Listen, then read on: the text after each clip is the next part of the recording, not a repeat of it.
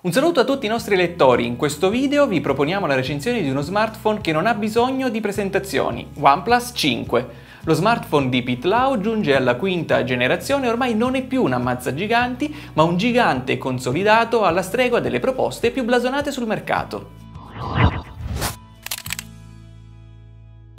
La testimonial di OnePlus 5 è Emily Ratajkowski e già solo questo vale l'acquisto.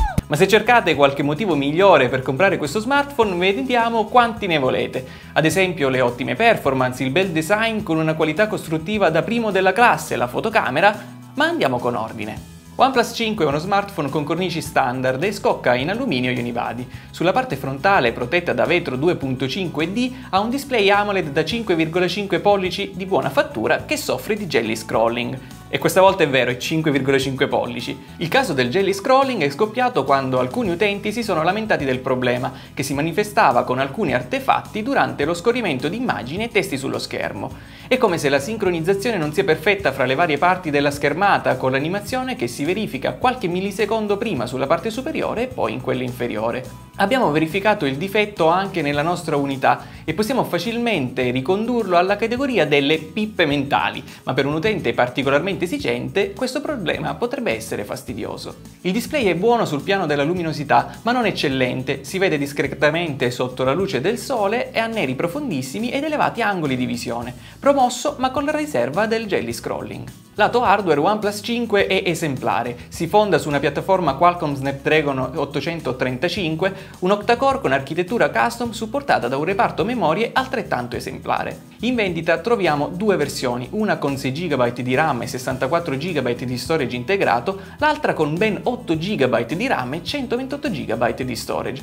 L'archiviazione si basa su chip UFS 2.1 velocissimi, ma in entrambi i casi non espandibili. In abbinamento alla personalizzazione Oxygen OS proprietaria, l'hardware di OnePlus 5 offre performance da primo della classe. La navigazione web è fluida e spostarsi fra un'applicazione all'altra è praticamente istantaneo anche grazie all'enorme quantitativo di RAM integrato.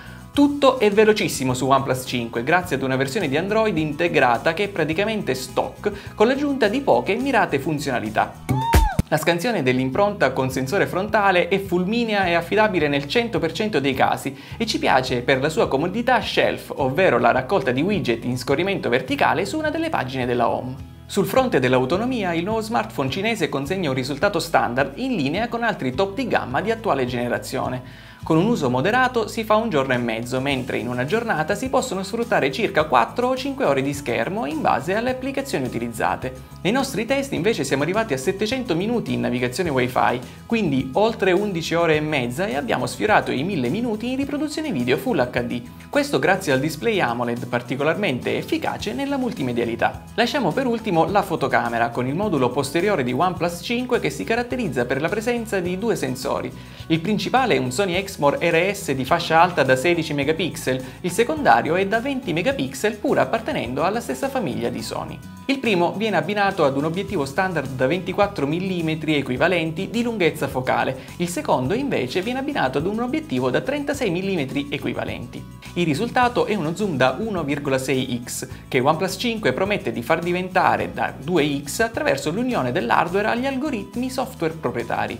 Le foto di OnePlus 5 sono ottime quando si scatta con il modulo principale ai vertici della categoria se consideriamo il livello di dettaglio percepito, mentre non ci è piaciuto troppo l'effetto zoom 2x, con il risultato finale che ci è parso sempre piuttosto morbido e impastato e il livello di dettaglio aggiunto non determinante. La fotocamera di OnePlus 5 perde la stabilizzazione ottica rispetto a OnePlus 3T, anche se dobbiamo ammettere che al buio non si comporta male se non in presenza di condizioni di luminosità davvero pessime. OnePlus 5 registra video in Full HD a 60 fotogrammi al secondo e in 4K a 30 fotogrammi al secondo e i video sfornati sono ottimi dal punto di vista visivo, con un'elevata gamma dinamica e un dettaglio eccellente, e buoni anche per quanto riguarda la stabilizzazione anche se solo elettronica.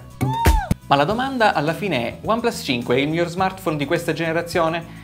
È certamente indubbio che sul mercato ci sono smartphone che offrono un livello di innovazione maggiore, ma è anche vero che questi smartphone non sono esenti da problemi. Galaxy S8 ha il sensore di impronte messo in posizione sbagliata e l'LG G6 una piattaforma hardware di passata generazione.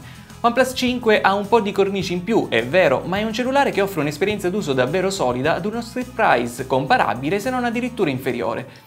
OnePlus 5 non è assolutamente migliore di Galaxy S8 e di LG G6, ma può sfidarli senza troppa timidezza e anche a 499 euro comunque vale ogni soldo speso. Con OnePlus 5 abbiamo concluso e se il video ti è piaciuto ti invitiamo a mettere un mi piace e di seguire il nostro canale. Non dimenticare di seguirci anche su Facebook e di leggerci sulle pagine di Hardware Upgrade. Ciao a tutti e al prossimo video!